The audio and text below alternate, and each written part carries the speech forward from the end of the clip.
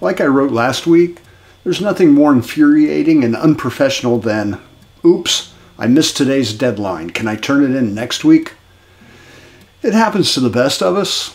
I didn't get my last Monday Minute video recorded in time. When this happens and you feel yourself falling behind, give as much advance notice as possible to those involved. In my case, I didn't do that. I became overwhelmed, panicked, and I didn't come clean until it was past due. Fortunately, I have an understanding team and association. Giving advance notice allows others involved to readjust their schedule and accommodate for the delay. When someone's late, it's natural to lose a little trust and confidence. And when you know you're going to miss a deadline, take action. And here are a few tips on what to do. The first thing to do is talk to the person who set the deadline. They're likely to extend it if you can provide a plan and set a new deadline. And therefore, when you know you're going to miss a deadline, make a plan. Figure out which tasks you can delegate and which tasks you need to do yourself. Then create a timeline for completing those tasks. One of the best ways to meet a deadline is to stay organized. Create project schedules. We use Basecamp here at AIBD.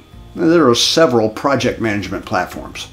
Basecamp just launched a feature for project timelines called Lineup. Now, working from home makes it challenging. Put away the phone, turn off the TV, and find a quiet place to work. And hopefully, Lineup will help me avoid distractions. Having happy and confident clients helps you to avoid time consuming issues, which may mean working extra hours or weekends. Or maybe it's time to build a team by hiring or outsourcing. And one more thought about deadlines sometimes clients, before they become clients, are already skeptical about timelines. I've looked through the AIBD designer docs and there don't seem to be any templates that contain a penalty clause. There's probably a reason. It would be my advice to avoid them. But what do you do if a client asks? If a client sold an existing house and is renting, they have a good argument for being owed damages. Based on their lease, they may strongly request that you commit to a timeline and agree to a penalty clause. If renting a house is 3,000 per month and you go beyond your contracted completion date, seems reasonable for a penalty clause to claim 100 per day damages. And if you disagree, you could lose a job. If you agree and something goes wrong, you could lose your arse. Now, one way to save face and not agree or disagree is to suggest an alternative, like a bonus clause. If the client establishes that 100 per day is acceptable damages, wouldn't it be logical that you would be saving the client by avoiding the injuries by finishing ahead of schedule? And thus you should receive a bonus for that, right? I would propose the same amount, a 100 per day bonus.